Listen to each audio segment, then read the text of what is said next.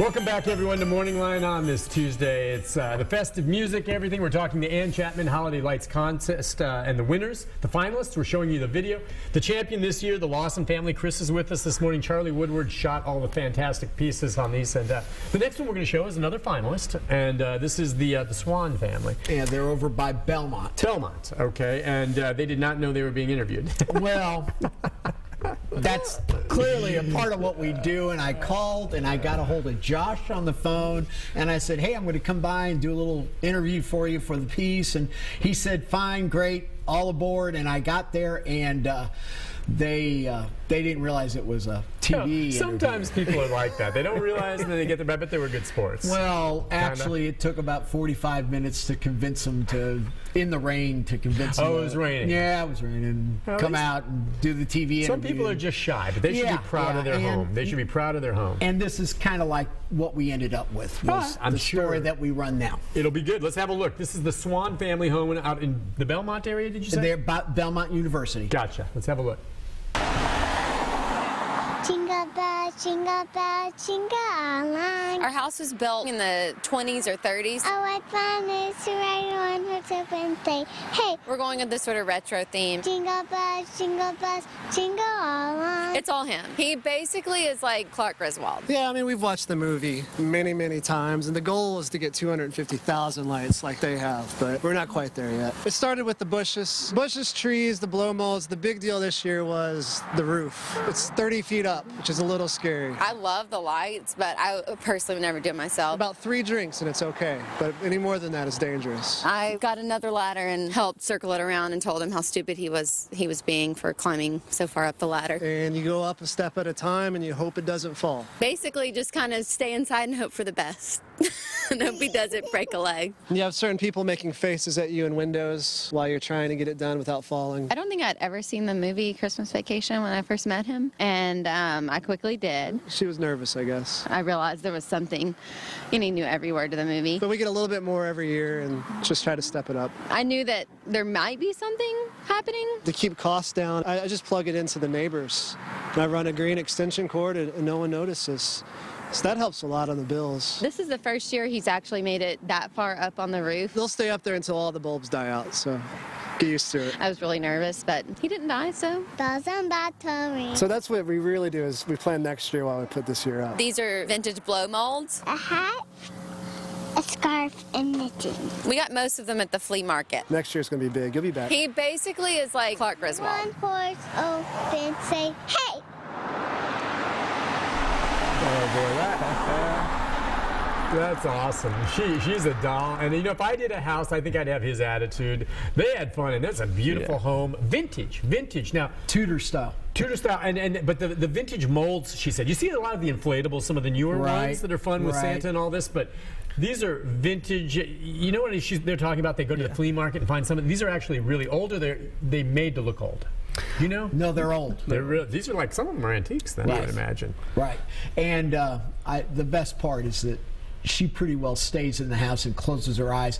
he climbs the trees. Hope she doesn't hear a thump outside. Right. He's climbing the trees to put those lights up. He doesn't. I, I told him he might want to invest in A ladder. good sized ladder, but you know, That was just he'll take it under advisement, I guess. He said two. I guess I remember. I've seen Christmas Vacation. I love it. Uh, Two hundred and fifty thousand lights. Now, what's a typical like? How many lights in yours? And we'll show that at the end of the show. But you, can you guess? I know. I, I know got, don't he says I have 100,000, but I, th- I, I think it's in between 50. 50, 50 what's the most you've ever seen in a house in the 21 years? Are they still getting more? But so you, you don't know. More doesn't necessarily mean better. I know that. So, but Uh, what have you seen? I've- there's there's a couple of homes that are up in the 250,000 range that I've had over the years, and he's wrong. He's he's wrong. He's he- got well over 100,000. Hundreds. He's seen so many. He probably. Ha- how long does it take you to put it up? You start putting it up around Thanksgiving, before Thanksgiving. I usually start the whole month uh, of November. This year got a little late start because we have a newborn, Yeah. and so uh, it was a big crunch right after Thanksgiving. To had a lot of help from my brother-in-law from Chicago. He flew in for the Thanksgiving holiday. Cool. Put him to work. My other brother-in-law on my wife's side, he, he helped me a lot, and uh, my dad was there too. how cool is it for all of them to know you guys won? Oh, they love it. I mean, They is that you get a plaque, don't you? Yeah. You get a plaque. I mean, that is pretty neat. I mean, you see some of the winners in the past; they're spectacular. You've done. I mean, again, stick around because his piece will be the last one to air. But yeah, when they found out, I mean, I'm guessing your brother in Chicago's like, "What? We won for all of Nashville? Are you kidding me?" Well, And, and now, this year, you added, you know how many? Yeah, 10, I added 10,000. I know for sure. You added 10,000 over last year's lights. Is this your first child, or do you have? Uh, that's my second Second. child. How old's your other one? Three. Three. Because as they get older, if you stick with this, I, I, like that little girl there. What an angel! And Yeah, she's a you can tell she enjoys it. And Yeah. it'll be fun for them to see right. mom and dad fixing up the house. I just, all right, that's great. Let's see. We're gonna go to the next one. Okay, this one is the Robertson family. Um, Charlie, and where, where are they at? We've hit Antioch, Belmont. The Robertsons are in Donelson. Okay. In fact, uh, he's he's got a title for his home that we'll hear during the piece. You know about Donelson. About- About, his home. about his home. And uh, he and his wife, I think they've been de- decorating their home basically for about 18 or 19 years. Have like they that. entered in the past? And They've they- entered some, but I mean, this is this is something that just it, again grew over time. The unique thing about this home is that if you go over to see it, you can come in on the street, and the street, because of geography, the home is actually below you. Okay. So when you drive up, looking you're looking, down. down at it, Nice. which is a unique vision Sure.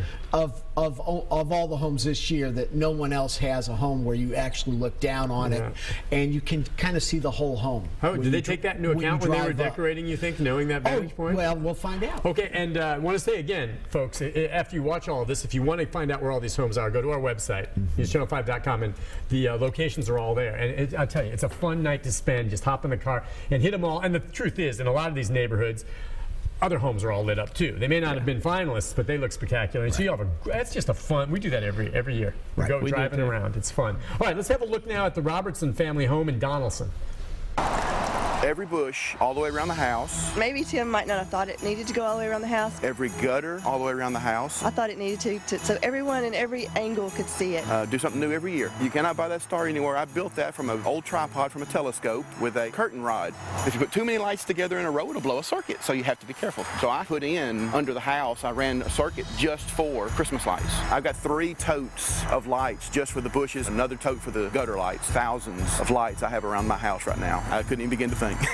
In the corner lot that we have, the side street is about eight to 10 feet higher than the house. You are looking down at our yard. The house being on the corner, we had to do all the way around the house to make it look right. It's just a beautiful scene that you can see and look out over the house. You can see all the lights from up there. And our neighbors that set up higher, they tell us all the time they, they we can't wait for your Christmas lights to come on, and they, they do. They, they enjoy sitting at the windows and watching them too. We drive it, we park it, we sit there and look. We're not ashamed to say we like to look at it too. I do something new every year, something new and different. I like to look good from every angle. I looked at them and I said, well, that one's not tight enough. You need to stretch those a little tighter. what happened? yeah, I guess that would be true. I do. I, stu- I do send him back up there a few times. she said fix, and I fixed.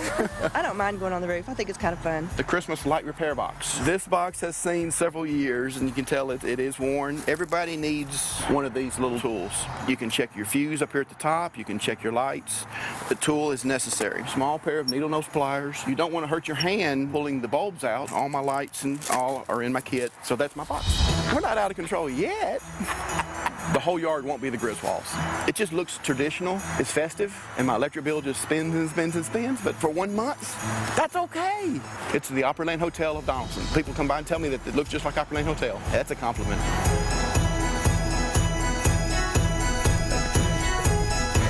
Compliment. That is so cool.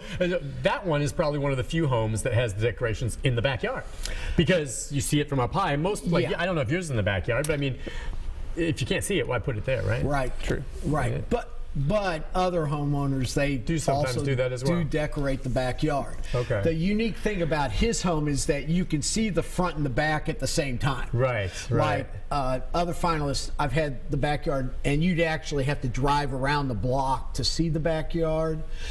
But this home, when you pull up on it and you're looking down on it, you could see everything. It's just the way the home is situated on the lot. Okay. So uh, that's why it works out that way. But that's That was beautiful again now too. that that home. I mean, um, and he keeps his decorations pretty close to the house.